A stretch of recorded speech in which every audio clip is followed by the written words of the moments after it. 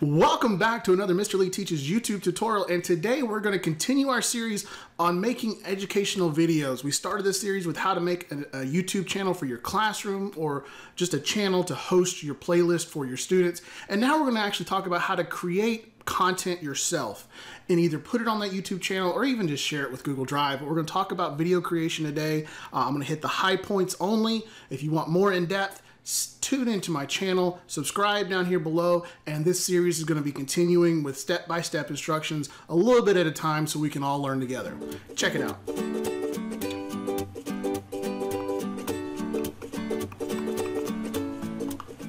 Okay, so you've decided you want to make some content for YouTube or just video in general for a flipped lesson or for remediation or, or just because you think it's fun.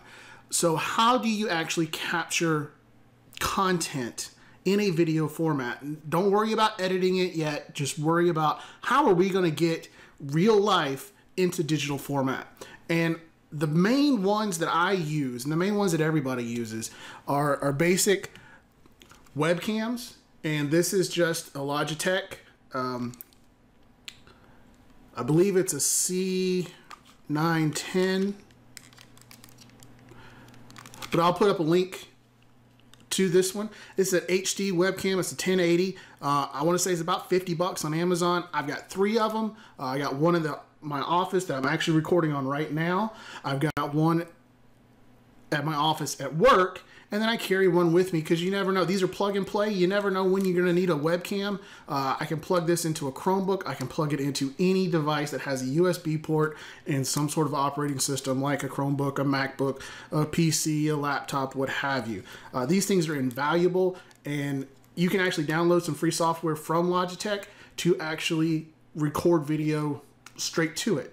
Uh, there's no editing, there's there's no real features to it, but it will record video or still pictures for you as well. Uh, and that's all free from Logitech. But there's a lot of different webcams out there, and most of our devices have webcams built into them, especially when you're talking about laptops, Chromebooks, and the such. The second thing I use is just a cell phone. Uh, this is my Google Pixel. Uh, it's got an H, a 4K camera on the back and an HD camera on the front.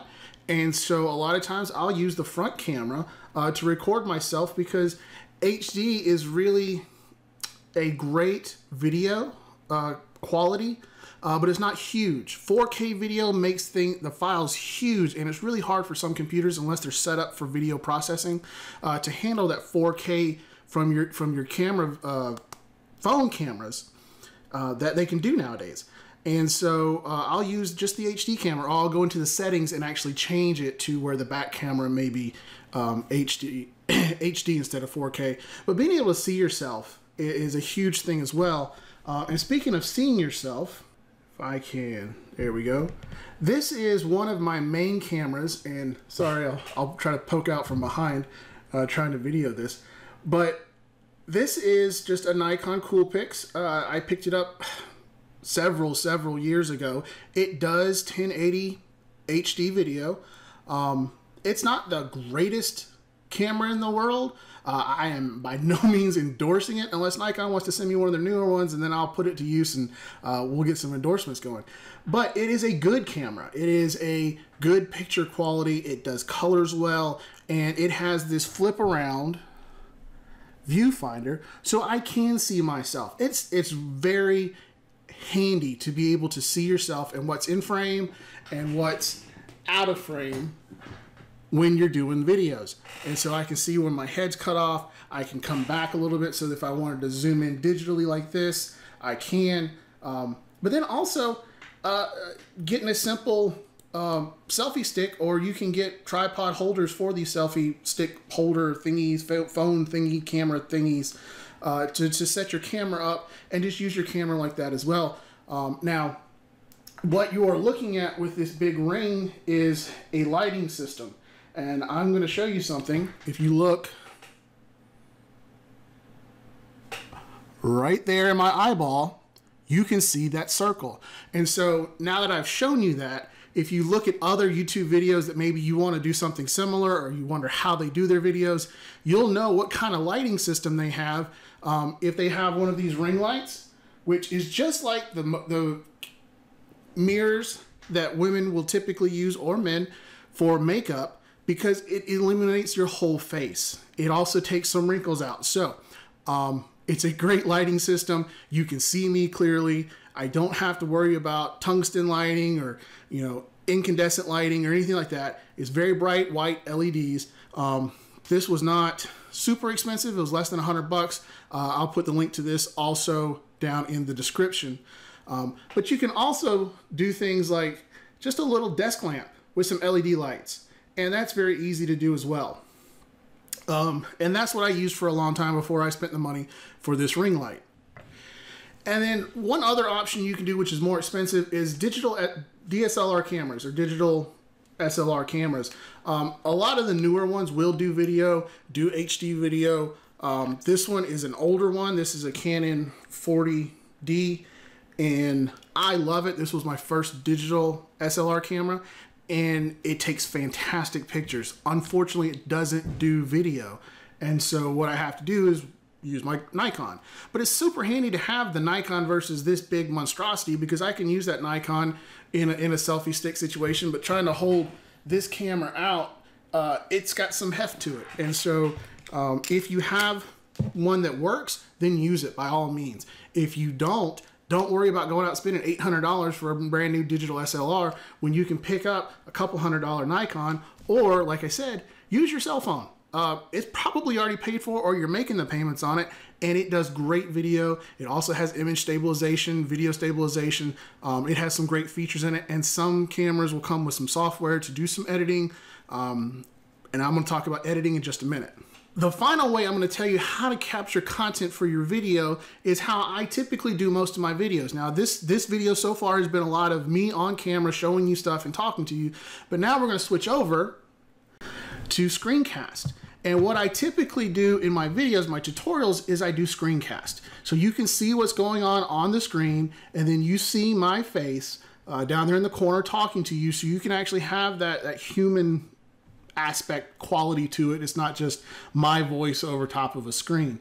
Um, but I use a program called Camtasia. There we go. Um, and, and it lets me, it's done by TechSmith, which also does Snagit if you ever use Snagit to grab screenshots and things like that. Um, it's a great little software for PC and, and I want to say it costs less than 100 bucks, maybe 70 bucks, and it's a one-time license. It's not a subscription fee. Um, I also use Screencastify, which is an extension that runs in Chrome.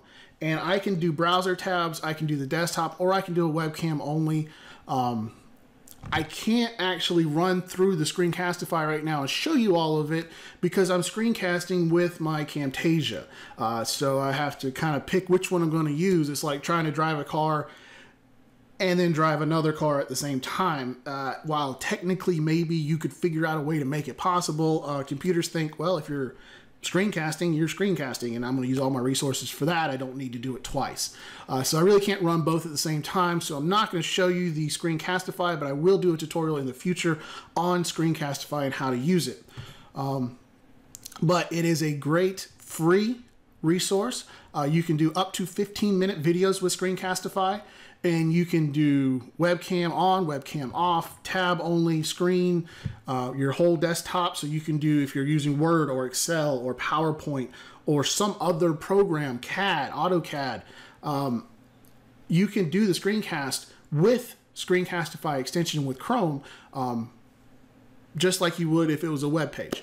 And so it's a very handy resource. And if you pay the, I want to say it's 25 bucks for the pro version uh, a year, then you can do some minor editing with it and you get a few more features with it. Um, you also can lose the, the Screencastify watermark. Another great one to use is iMovie. Uh, iMovie is typically free on your Apple devices. Uh, let me pull up my iPad right here. So not only can I record on my iPad or my iPhone, I can actually make an iMovie video right here and, do all the editing on the iPad itself um, and even upload to YouTube from the iPad. And it's just the little star, purple star icon. And um, you know, it's it's you can find plenty of tutorials on how to use iMovie out there on the, on the interwebs. Um, I may do a video on that. I'm not so sure yet um, just because it is a very device specific. You have to have an i device, an iPhone, an iPad, Mac, iMac, or, or MacBook Air. And so uh, I'd rather show things that are ubiquitous and can be used across multiple platforms, which is what I typically show. You can also use other programs like Premiere Pro, and that's by Adobe. And, and Adobe makes great products. I, I love Adobe products. I use Photoshop all the time. I'm actually Adobe certified uh, web design. Um, but Premiere Pro is one of those programs that you can actually make a Steven Spielberg style quality video with.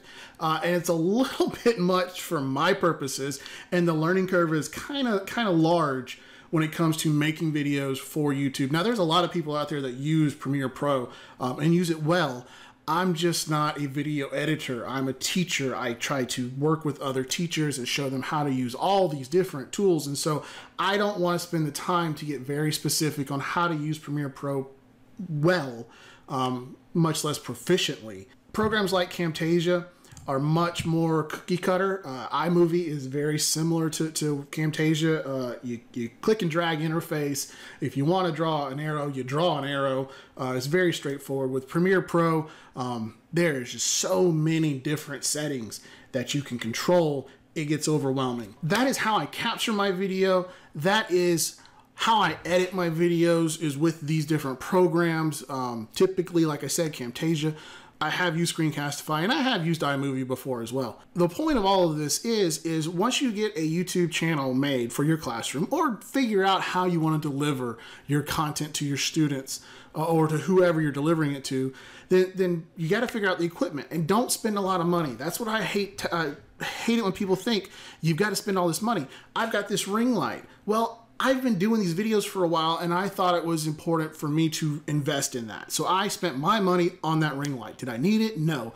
Go back and look at my first 50 videos. I did not have a ring light. I think maybe my first 60 videos. I'm not sure, but I just recently got the ring light.